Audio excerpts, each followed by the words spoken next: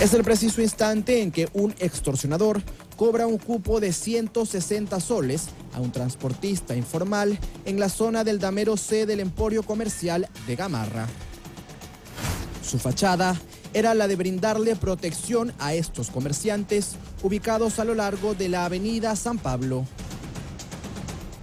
Esta banda está compuesta por cuatro ciudadanos peruanos que responden al nombre de Fran Leonard Villegas Ramos, de 43 años, Martín Emiliano García López, Renzo Joel Montaldo Perales, los mismos que han sido plenamente identificados, ubicados y capturados.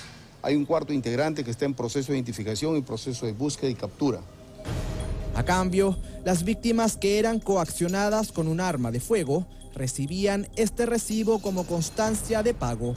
En el mismo se lee vigilancia correspondiente al mes de septiembre en la calle Juan Pablo del distrito de La Victoria, en la cuadra 7, hay varias víctimas, no solamente la persona que ha denunciado. en este caso comerciantes, eran comerciantes de plásticos, eran este, mototaxistas incluso, ¿no? que, está, que poblaban en la zona.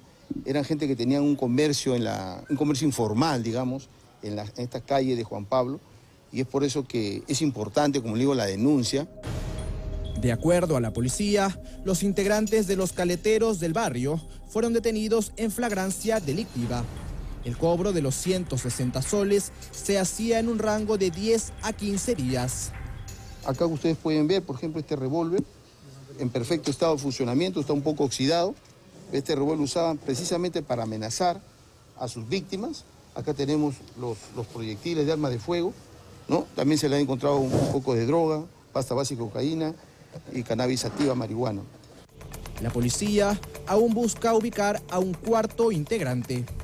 Fran Leonard Villegas Ramos se funge de cabecilla. Esta cuarta persona hacía la labor de campana, es decir, vigilaba a las víctimas quiénes eran los posibles objetivos para poderles cobrar.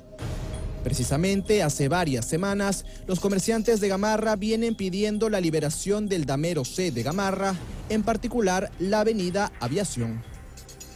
Nosotros pensamos que como consecuencia de la evaluación que hace la región policial Lima, muy pronto vamos a tener la operación policial, no le puedo dar la fecha exacta porque eso obedece una evaluación propia del Departamento de Planeamiento Operativo. En tanto, los comerciantes esperan medidas inmediatas para no terminar perdiendo la campaña navideña.